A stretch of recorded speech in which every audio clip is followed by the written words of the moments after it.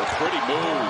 And that's where Rhode Island is good, in transition. Don't face that half-court set man-to-man defense. Holmes in transition. Foul going up with a slight game. 68% for the free throw line. Anthony Grant told us yesterday. In that half-court, tough, physical defense of Davies. Tchikou could not get the, the angle on that one. Amzil. I'm Steele with the rebound. Oh, Holmes running the floor, laying it in.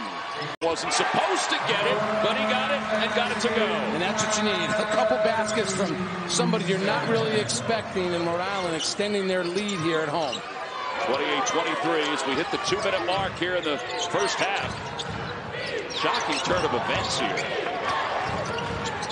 This is a 13-0 run, and it ends with DaRon home. Oh, well, very well, or score from the perimeter. But, you know, do what you do well, and they continue to get to the foul line. That's the difference in this first half. Under a minute to play in the first half.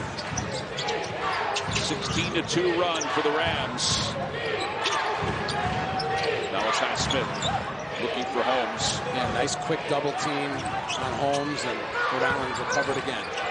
Malachi crosses over, leaves it down low for Holmes, who jams it be thrilled. I'm so glad you knew who that was. See, I got young kids. See, line goes up strong, can't finish, bobbles it, and Amzil wins the battle for that loose ball. Yeah, physical hard play now, everything contested. Dayton starting to grab control of this game again. Here's Holmes, finally got single coverage, and he's going to go to the free throw line to try to. By Sebastian Thomas, quick skip back to him, made that defense move, and got another three that they really needed. Yeah, four three-pointers tonight for Rhode Island.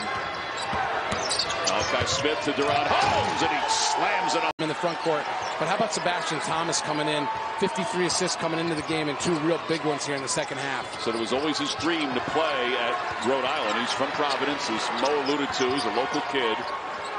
How about this? 13-point lead for Rhode Island. Holmes is able to finish, and he's fouled.